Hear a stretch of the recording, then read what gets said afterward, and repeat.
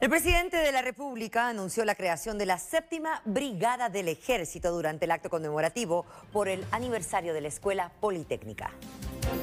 Recibí este batón, que significa ser el comandante general del ejército, y he tratado de cumplir con mi obligación, fortaleciendo al ejército de Guatemala en sus tres fuerzas, y no desmayaremos hasta seguir consiguiendo el fortalecimiento del ejército, tal y como lo será en las próximas semanas, la puesta en vigor del acuerdo que le da vida a la creación de la séptima brigada, la cual estará ubicada en Baja Verapaz, la que contempla también la ampliación de más de 6.000 elementos en las fuerzas militares, en lo que yo tenga de mandato, con lo que estaremos junto con el equipamiento,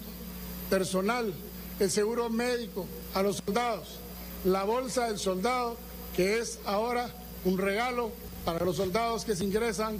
al ejército y que no les tienen que pagar ni un centavo. Seguiremos fortaleciendo al Instituto de Previsión Militar para que ustedes, cadetes de hoy, el día que llegue el retiro, cuenten con las pensiones correspondientes. Seguiremos trabajando por el fortalecimiento del ejército, tanto en lo nacional como en el extranjero,